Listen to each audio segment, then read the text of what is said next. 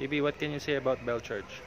Uh, hi, so today we're here at Bell Church where you can see the different kinds of Chinese structures based on um, the Chinese religion called Buddhism. Sometimes I know what I'm saying, sometimes I don't. And so right here, you're going to see the Welcome Arch where there are dragons and the bell, of course, because this is the Bell Church after all. Behind me, you will see another I don't know what happens in there because it's kind of locked at the moment.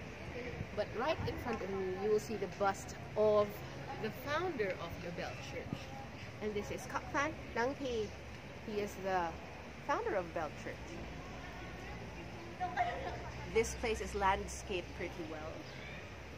And right here is the major structure where you will see the bells that make this church the Bell Church.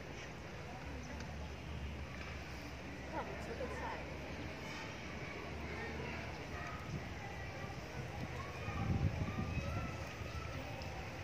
However, we are not allowed to take pictures, so just use your imagination. You know what bells look like anyway, right? we'll be right back after this commercial break.